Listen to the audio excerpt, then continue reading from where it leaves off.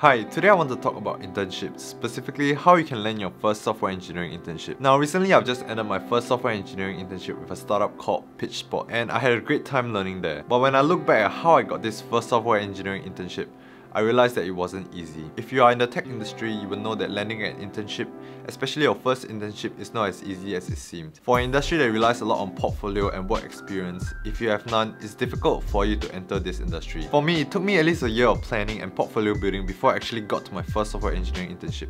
And in this video, I just wanted to go through the process and the preparation that I had, and hopefully it will help you get your first internship as well. So for this video, I've created timestamps, and if it helps you follow along, you can skip ahead to the different portions and yeah, let's go. So let's talk a little bit about the prerequisites before I even look for my first software engineering internship. Prior to my internship experience, what I had in hand was a small amount of coding experience from school, as well as a personal project. So this personal project was actually a mobile application that I've built entirely from scratch with a friend of mine for a school initiative. So this school initiative is called Orbital, and if I'm not wrong, it's organized by the NUS School of Computing. So what it does is that it encourages students to build products entirely from scratch to solve real-world problems. Now you'll be surprised how far your personal projects will bring you, especially when you build it entirely from scratch.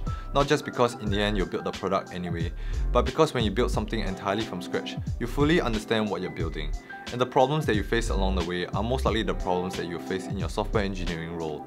And the way you solve them can be extremely helpful for your future job. So it doesn't matter whether you have adequate knowledge for your personal project. What matters the most is that you find a starting point and just get started immediately. The rest can be researched along the way. When I started my project, I had zero knowledge about mobile application and we just researched everything along the way. The product in the end may not be the most ideal, but at least through this method, you know what's workable and what's not. For me, my personal project was a mobile application, but you can literally build anything whether it's for web or for mobile or even for iPad, as long as you can show that you have some experience in building a product, it can be a good way for you to display your experience and your qualities and hopefully something for you to talk about as well when you land your interview. Next is to hunt for the interview for your first software engineering job. Now, with one or two personal projects on your portfolio, expect that very few companies will reply you unless the project that they are working on is very similar to the project that you have already done. This is because you would most likely have already possessed the skills that they would need and it will take less time to onboard you. With that said, be sure to make yourself more employable with at least a larger window for internship. What I mean by that is that you should make yourself available for at least 3 to 6 months to take up this internship fully. Personally, I think, especially for tech positions, it would be quite impractical to do an internship for less than 3 months. At least from a company's perspective, it wouldn't make sense because for the first month or so, they would have to onboard you. You will have to pick up their coding language if you don't already know,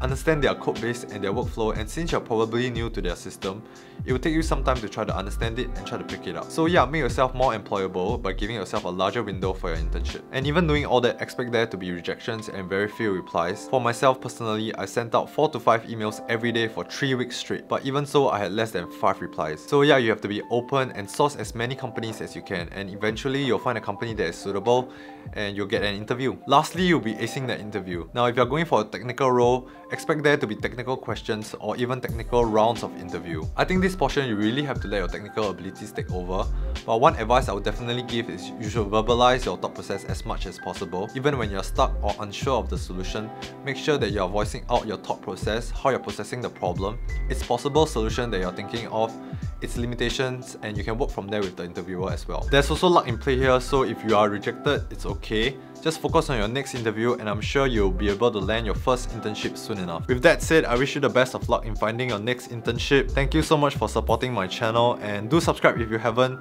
and I'll see you in my next video.